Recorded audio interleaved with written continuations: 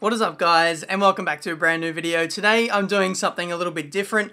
Uh, I'm doing a review on the Thrustmaster TSPC Racer, um, a wheel that was sent to me by Thrustmaster a, a, little while ago and I'm finally getting around to doing a review on this. So um, just as a little bit of a backstory, the first time I tried this wheel was probably back in February of uh, 2017, I tried it at like David Greco's house in the UK when I was testing F1 2017 very early on and I got my first hands on with this wheel and I was just completely blown away by how how intuitive the wheel felt. Like how smooth it was how how strong the force feedback was and just how how nice and natural it felt while I was driving it on iRacing. And from that moment I knew I just had to have this wheel and uh, here we are today uh, a few months or many months later um, now using it um, day in, day out as part of my setup. So, um, first of all, want to say a massive thank you to Thrustmaster for sending sending this wheel out to me. Um, if it wasn't for them, I probably would have got this wheel anyway, so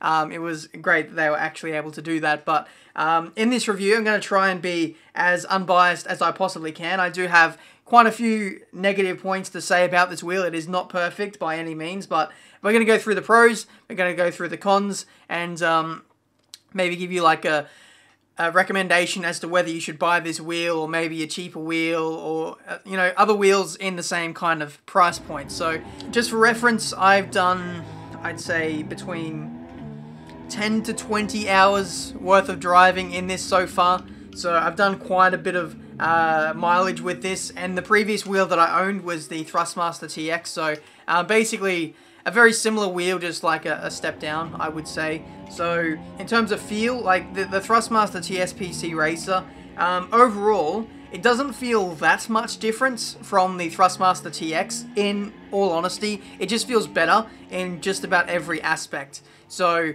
um, the force feedback on the Thrustmaster TSPC Racer is incredibly smooth. It is, it's buttery smooth. It feels so natural. It's probably like the best superlative I can I can give this wheel. It, it, just feels so smooth and so natural and it allows me to just get on with the driving and it doesn't feel like it's too notchy or, or anything like that whereas other wheels I've driven in the past they just feel very yeah very notchy and very cheap and the you can hear like the belt or the rear of like that's the technical term you know when you like correct a slide and it goes ring, and it's just like it doesn't sound great, it doesn't feel great, it's slow, whereas this is quick and direct and you can do just about everything you want to do in a split second. It is it, it's so instant in that way and I really appreciate that because as you guys know, I race F1. When it comes to racing in F1 cars, you need that direct response and I feel like this wheel definitely gives that. Doesn't make me Michael Schumacher or anything, it doesn't make me any faster than my Thrustmaster T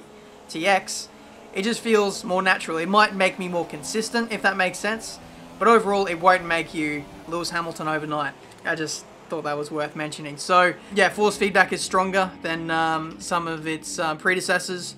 Uh, it, the, the wheel itself, it's, it feels very premium. Like, everything that you touch is pretty much metal. Um, they have Alcantara grips, which which do feel very nice to the hands. You will need gloves if you are going to use this wheel day in, day out um, simply because after over time, like sweat from your hands will just uh, wear away at the Alcantara and it won't look that nice.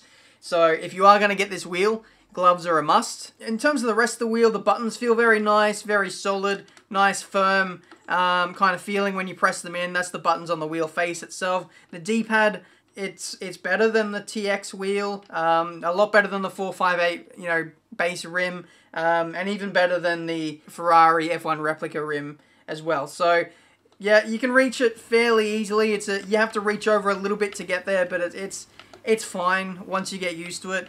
Um, the grips, I'd say, are very thick. They're a lot thicker than what I'm used to, so make of that what you will. Um, sometimes when I first started using the wheel, I did get cramps in my, my right hand, and it's just an ergonomic thing, like getting used to it. I don't really feel those cramps anymore, but um, just my initial impressions were that this this wheel, this like the handles were quite a bit thicker than what I was used to, but um, that might be a positive thing for people with bigger hands, so to speak. But everything else, like the wheel is, is full of metal, like there's barely any plastic on this thing, like literally only on the um, the tops and the bottom of the handle grips and on the inside where the thumbs might cross over. Um, that is, that's pretty much it. There's a little bit of plastic on the back for the quick release, but literally everything else is made of metal and everything else is um, buttons. Now there is a bit of a gripe I do have with the little twist knob, but I'll get to that later in my cons section of the video. The paddles, like the shifters, feel very nice and very um, solid. They're, they're very sturdy. There's no absolutely no issues trying to reach them. With the hands, you can pretty much access those in the middle of a corner. You can shift whenever you want. And when you do shift with these paddles, it does have a very nice and positive click when you when you press it in. It, it's actually really satisfying. I actually quite look, look forward to shifting up in the gears, and um, that's, that's actually pretty sad. The design of the wheel, I feel like, is very nice. It's it's very simplistic, um, quite bare bones, if, if Thrustmaster don't mind me saying. There isn't too much to this wheel. Um, so you've got the, the very few buttons on the wheel, the the twist knob, you've got the D-pad, a Thrustmaster logo in the middle of the of the wheel rim, and then the Thrustmaster logo um, kind of at the top of the rim where maybe some uh, shift, shift lights would be in a in a Formula car. It's a shame that there are no shift lights actually there, illuminated like an LED light. That is something I wish was on this wheel, but apart from that, I can't really fault it. Um, the design of the base again it's it's all black it's got some nice metal bits on the top here um, lots of cooling a lot of um, slits for air to um, escape uh, in terms of like noise and stuff, this wheel is very quiet. I, I literally never hear it. Um, if anything, I, I, try and listen out for it after I've finished, uh, you know, a racing session. Once I've like, you know, gone back to the pits, turned off the game, um, the wheel is still running. Um, the fans are still spinning a little bit. Like that's literally the only time you can hear the fans, and that's for like two minutes while it cools down. And then once it gets to the right temperature, the fans are basically silent. Like, you, you, never really hear it. And especially if you are driving on a track and you've got headphones on, or even if the game is playing out loud, you literally can't hear this wheel. It is um, pretty much silent. Apart from that, yeah, you don't really hear the wheel as well. Like when you steer or make really quick um, counter steering moments, it, the wheel is very silent. So I'll try and make a lot of noise with the wheel now if I can. And I'll bring the, the microphone really close. That's as loud as it gets. And when you're driving, you, you really aren't going to hear that anyway. In terms of other things that I like about this wheel, um, it's got a quick release system where it, it works as the whole Thrustmaster ecosystem where you can take off this rim, put on another one, and you're basically good to go pretty much. So you can take this Formula rim off, you can put the um, Ferrari replica wheel on if you so choose to do so, you can put the 458 rim on, T300, whatever wheel face you want, you can basically put it on so long as it is a quick release wheel like the other models from Thrustmaster and that is um, really, really cool. So if you if you get bored of doing you know Formula racing and you want to do some drifting and you want to actually put a, a round steering wheel on, you can do that. So that is entirely up to you and your preference. And if you have other Thrustmaster products, and that's obviously a huge, huge benefit to getting a wheel like this. I'm not sure if I touched upon this either as well, just a little bit earlier, but the, the base is, is quite small. I'd say it's, um, I don't know, 10, 15% smaller than the Thrustmaster TX base. Um, this this feels just a little bit smaller, a little bit sleeker, whereas the TX base is quite bulky. Um, this thing definitely saves on space, and um, I think that's all down to putting the um, the turbo as like the the power cord, if that makes sense. Like the big turbo. That, that thing is really heavy, by the way, um, and it just sits there as a dead weight on the floor um, next to me. But um, it does mean that you save some space in inside the the actual base itself, which sits on the wheel stand or your desk, depending on how you set that up. I would recommend putting it on a wheel stand. Um, something as high end as this, I, I feel like you should be putting it on a on a wheel stand. Um, it definitely won't move. You can screw it in, and that way you don't have to worry about um, the thing moving around on your desk or rattling your monitors or anything like that. I've never been a fan of mounting things to desks, but uh, especially a wheel like this, it deserves to be um, treated right and put in and, and actually put on a on a wheel stand. And I think my final point, which is a massive benefit for this wheel or getting this wheel, is the fact that This wheel is the official wheel that is used in the F1 Esports series. So if you're from the F1 community like me and you want to take your racing to the next level, you want to be, uh, you know, a, a, really competitive driver. You want to um, fly off to Abu Dhabi or London or wherever you want to go for the esports series and really um, take that level of competition um, to the extreme.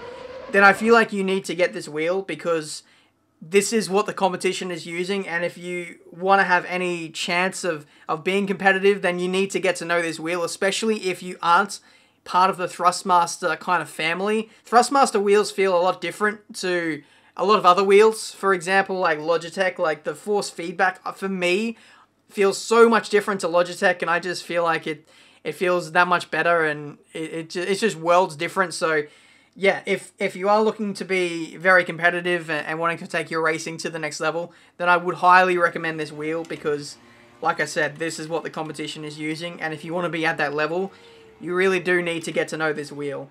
Okay, so that is pretty much all of the pros out of the way, uh, just about. I do have a few, like, neutral points that I do want to touch base on, but before we get to that, um, I will get to the to the cons, which uh, I'm sure you guys will probably want to know as well if you're going to be spending the eight, nine hundred dollars Australian dollars for this wheel, then you do want to know um, some of the shortcomings of this wheel before you um, get into this.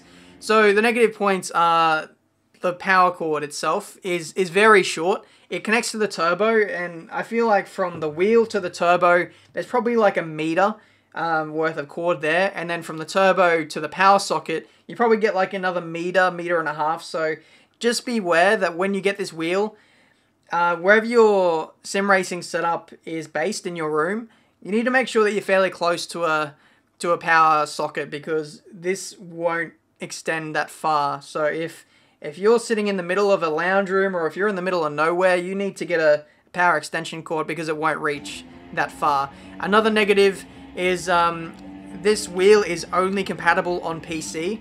So just beware that if you're on console, if you're on like uh, PS4 or Xbox One, you won't be able to use this wheel. Um, if you are looking to get a wheel that is compatible on both, so say if you're on Xbox One, I'd recommend the TX um, TSXW wheel, the Sparco edition. Um, that that wheel is exactly the same as this. Like the base is exactly the same, so you'll get the same force feedback, you'll get the same strength, the same smoothness.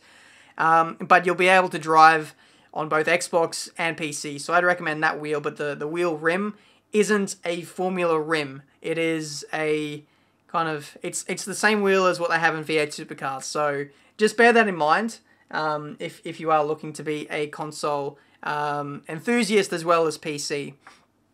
Another negative I have with this wheel, I did mention it before very briefly, but it doesn't have any LED shift lights. For a wheel that's this expensive, and when you compare it to some of its competitors like uh, Fanatec for example, you get wheels that have the LED shift lights, and although it's it's a little bit of a gimmick, I do feel like it does have its place because it is so cool to look down when, when you're driving sometimes to just see those shift lights illuminated um, just in your peripheral vision, but overall, like I said, it doesn't it doesn't affect me too much because most of the time you are concentrated on where you're going and, and on the screen and, and more often than not the in-car display will have shift lights um, when you're driving unless you alter your FOV.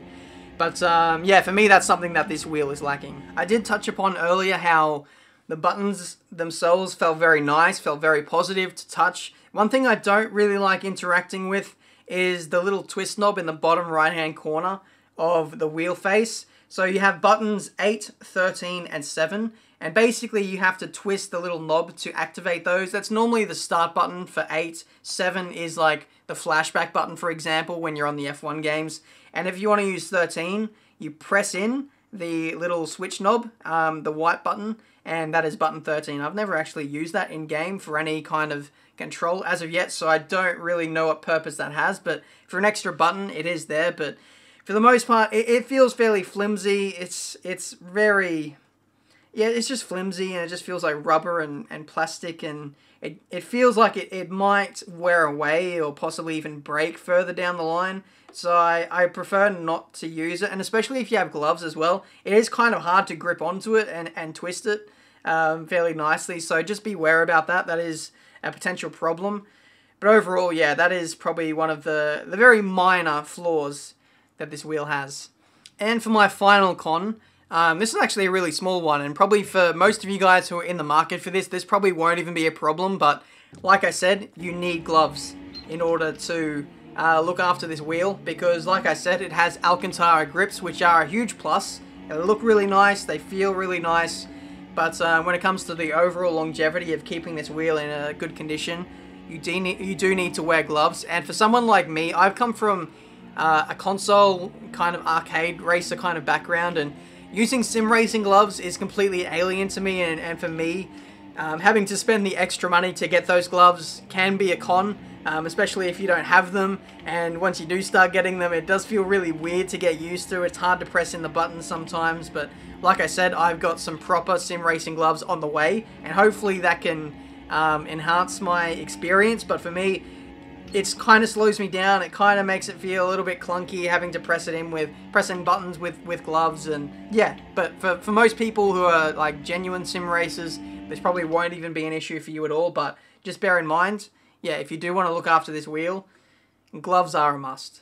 Okay, so with that said, um, hopefully all of those positive and negative things hit home for you guys. I do have a few neutral points to put across before I end off this review. And some of those neutral points are the price. I, I didn't really put the price as a negative, simply because you kind of know what you're getting into when you get this wheel. This wheel is priced this highly for a reason. I think it's like around 500 US dollars, uh, maybe even less now that the wheel is about a year old, so you could uh, potentially find some good deals on this um, at the time of recording this, or maybe even later if you're watching this later. But if you're from Australia, it is it is fairly expensive. But in all honesty, you do get what you pay for. It, it really is a, a premium kind of product. I feel like this is like kind of the best you can get in terms of like a, a readily available uh, steering wheel you can just buy online before you get to those direct drive, those really hardcore sim racing wheels. This is kind of like the top of the line before you get to that stage. So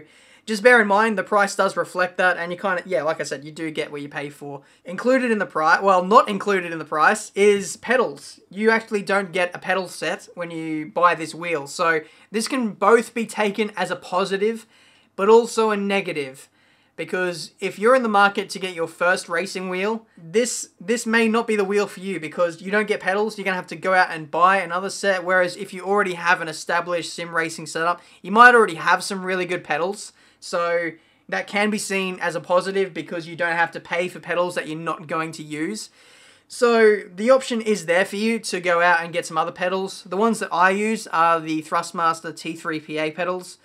They've been good up until this point, but I feel like now it's it's probably time for an upgrade, and I feel like Thrustmaster need to offer some high-end pedals that really go with this wheel because there are some competitors out there who offer some really good pedals like the load cell um, technology.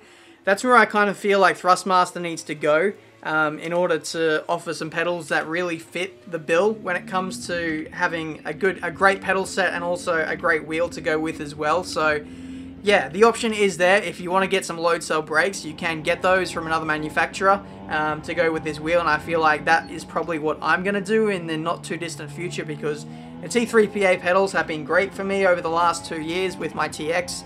But now I feel like it's time to, uh, to step up. So that's uh, the final neutral point um, I have with this wheel. Like I said, it's a year old. You can get it for probably just under 500 US dollars. I don't know what that equates to in like pounds or euros.